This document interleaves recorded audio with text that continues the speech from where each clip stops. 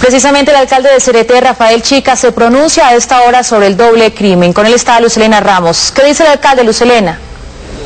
Pues precisamente estamos eh, con el alcalde de la población donde ocurrieron estos hechos, Rafael Chica, alcalde, buenas tardes, gracias por acompañarnos y cuéntenos qué se conoce de este nuevo crimen eh, de esos dos jóvenes en Córdoba. Hombre, lamentable, una niña de 20 años, estudiante de la Universidad de Cartagena, un joven de 22 años, estudiante del SENA, los abordaron en un camino del casco urbano hacia la zona rural, dos tipos de moto y lo asesinaron sin más allá y sin más acá y dejaron sus cuerpos tirados sobre la vía. ¿Las razones por las cuales esto...?